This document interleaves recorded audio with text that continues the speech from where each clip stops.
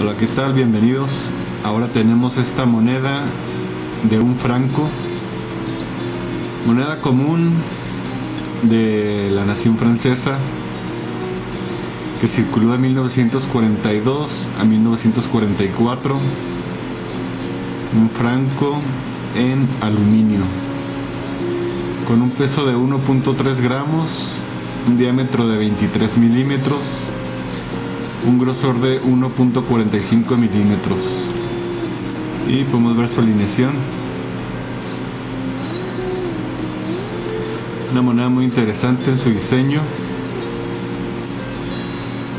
Podemos ver trigo Nasha y la palabra estado francés. De este lado podemos ver trabajo familia y patria. Y nos señala que es un franco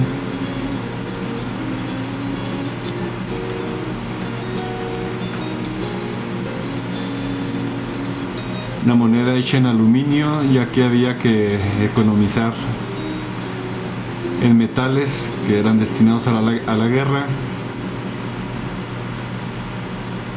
Y de esta moneda se acuñaron al menos unas 500 mil piezas en los años que circuló. De la de esta de esta de 1942 no se especifica bien a bien cuántas se acuñaron